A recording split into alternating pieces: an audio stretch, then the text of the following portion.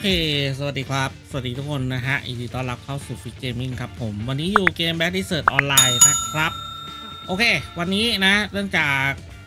ผมได้ทำคลิปเกี่ยวกับเรื่องของ combo ของนินจา awake ไปค่อนข้างเยอะแล้วนะครับ จนลืมไปว่าก่อนที่เขาจะไปฟาร์ม high tier ได้เขาต้องผ่านช่วง ช่วงต้นเกมกับกลางเกมไปก่อนครับ ช่วง mid tier กับ ช่วง low tierนะวันนี้ผมก็เลยจะเอา combo ที่กดง่ายโคตรๆของนินจา awake มา แชร์ให้คุณผู้ชมที่กำลังฝึกเล่นอยู่ ได้ลองไปใช้กันดู จริง ๆ มันสามารถเอาไปใช้ใน high tier ได้นะ เพราะว่าส่วนในส่วนของ Orc ในส่วนของเยติผมก็ใช้ combo นี้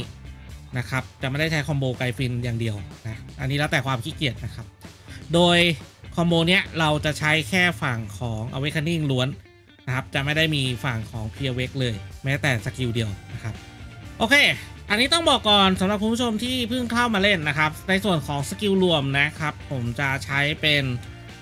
skill 56 เนี่ยจะใช้อันบนนะครับ skill 57 ใช้อันล่างนะครับ skill 58 ใช้อันล่าง ในส่วนของการฟาร์มมอนหรือ PVE แล้วก็ตัว add-on เนี่ย แล้วแต่เลยจะใส่หรือไม่ใส่ก็ได้ เพราะว่ามันไม่ค่อยมีผลเลยมากเท่าไหร่ในช่วงต้นเกม เพราะว่าถ้าเป็น low tier เนี่ย skill 2 skill มอนน่าจะตายไปเลยนะครับ จะไม่ค่อยได้แบบ อะไรมากนะครับ แล้วก็ถ้าเป็นช่วงกลางเกมเนี่ย ก็ผมแนะนำว่าเป็นใส่ลดเกราะ ใส่เพิ่มโจมตี monster แล้วก็ใส่ความเร็วโจมตีแค่นั้นก็พอ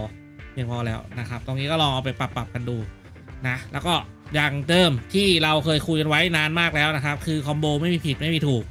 นะเพียงแต่ว่าเรากดได้ชินอันไหนมากกว่ากันนะครับ หรือใครอยากจะเอา combo เนี้ย ไปดัดแปลงไปเพิ่มไปเติมอะไรก็ตามสบายครับผมมันไม่ผิดนะโอเคมา มันง่ายมากครับคอมโบเนี้ยนะผมบอกเลยมันโคตรง่าย เริ่มด้วย เดี๋ยวผมจะทำให้ดูก่อนแล้วก็จะมาอธิบายว่ากดอะไรบ้างแล้วกันนะครับ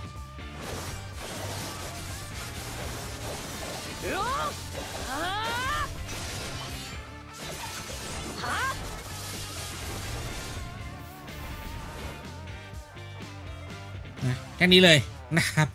มาเดี๋ยวเรามาดูกันว่ากดอะไรไปแล้วบ้างนะครับ ก็ผมจะเริ่มด้วยแรงพยาบาทนะครับ โดยถ้าเกิดว่าอยู่ในภาคของดาบสั้นเนี่ย เหมือนเดิมก็คือถ้าเกิดเราล็อก skill ตัวของหมุนตัวฟันดาบหรือ skill นี้นะครับอ่า Ankle Cutter นะครับ เราจะสามารถกด Shift คลิกซ้ายได้ตรงมันจะเข้าแรงพยาบาทเหมือนกันก็ Shift คลิกซ้ายครับ Shift คลิกขวาคลิกขวาค้าง หลังจากคลิกขวาค้างเนี่ยให้กด spacebar ครับ คลิกซ้ายคลิกขวาค้าง จนถึงเขตแดนความเร็วแสงนะครับ เขตแดนความเร็วแสงเลยนะหลังจากเขตแดนความเร็วแสงเนี่ยมันจะต้องต่อด้วยสกิล SE นะครับ SE Q โยนดาบครับ SF F ค้าง แล้วก็จะต่อด้วย skill นี้แต่ว่าดูใหม่ แรงพยาบาทฟันขาดสองท่อน ระเบิดความเร็วเสียง spacebar คลิกซ้ายค้าง คลิกขวาค้าง เขตแดน Q โยนดาบ Serpent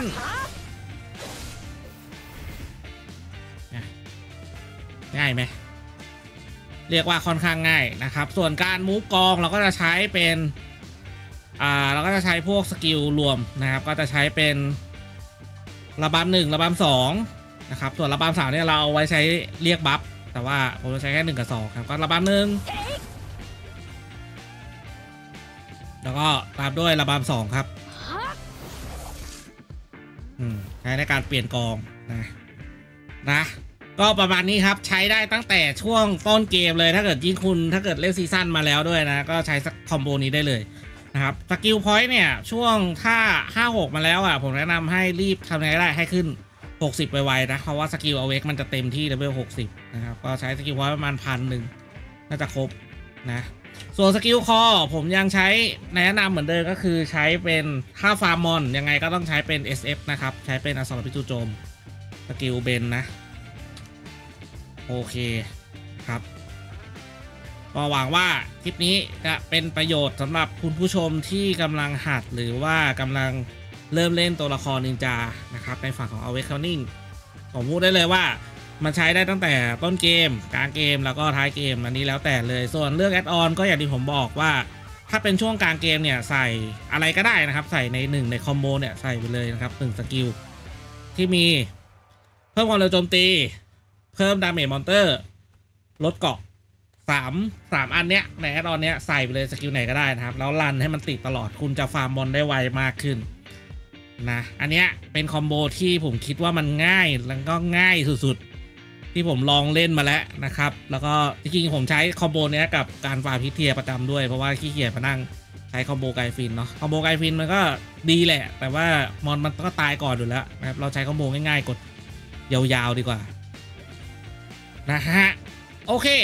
นะครับใครที่มีคำถามอะไรติดตรงไหนอะไรเงี้ยสามารถมาพิมพ์คุยกันได้ใต้คลิปนะครับหรือจะไปคุยกันในใน live stream ก็ได้นะครับเออผมต้องบอกก่อนช่วงนี้ stream ผมอาจจะน้อยลงหน่อยนะแบบอาจจะไม่ได้เป็นวันจันทร์ถึงศุกร์แล้วนะครับ ก็จะหยุดจะ stream แค่วันพุธพฤหัสนะครับ แล้วก็อาจจะมีวันศุกร์ด้วย ถ้าเกิดว่าไม่ได้ออกไปทำงานนะ เพราะว่าอ่าวันพุธเนี่ยผม stream เสร็จจะต้องออกไปทำงานตอนช่วงบ่าย แล้วก็วันพฤหัสเนี่ยทำงานเสร็จแล้วจะกลับมา stream ส่วนวันศุกร์เนี่ย ถ้าวันไหนหยุดก็จะ stream นะครับ ส่วนวันจันทร์อังคารเนี่ยขออนุญาตหยุดครับ เพราะว่างานต้องไปทำแต่เช้านะฮะแต่ว่าถ้าเกิดว่าวันวันอังคารเนี่ย ถ้าเกิดกลับเร็วก็จะมาสตรีมช่วงเย็นให้อีกทีหนึ่งแล้วกันนะครับ เหมือนเดิมครับวันพุธเราจะเจอกันอ่าด้วยความที่ว่าเซิร์ฟมันถูกปรับเนาะก็ผมจะปรับมาเป็นวันพุธเนี่ย เราจะเจอกันช่วงตั้งแต่8โมง45 เป็นต้นไปนะ ถึงประมาณ 11โมง 11โมงครึ่งในประมาณนี้ไม่เกินเที่ยงเพราะว่าบ่ายโมงแล้วผมต้องออกไปทำงานนะครับตัวนธรรมดาก็ตามนั้นเลยวันอื่นจะเป็นช่วงหลังเลิกงานก็น่าจะประมาณบ่ายสองบ่ายสามแล้วแต่แล้วแต่วันนะครับ แต่ว่ารถจะติดไหมนะแต่ก็ยังไงก็จะพยายาม stream ครับ ส่วนเรื่องคลิปวิดีโอในห้อง YouTube เนี่ยยังลงวันเสาร์เหมือนเดิมนะครับ เวลา 10โมงเช้ายังไงก็จะทำรักษาตรงนี้เอาไว้ให้ได้นะครับโอเคฝากด้วยสำหรับสำหรับช่องทางการ stream ก็คือ Twitch twitch.tv/freegamingts นะครับ เอาไว้เจอกันในสตรีมนะ ส่วนคลิปวิดีโอก็ youtube.com/assign freegamingts นะครับ ฝากด้วยทั้งสองช่องทางเลย เอาเจอกันใหม่คลิปหน้าสำหรับคลิปนี้ผมคงต้องขอตัวลาไปก่อนนะฮะ เจอกันไปแล้วครับ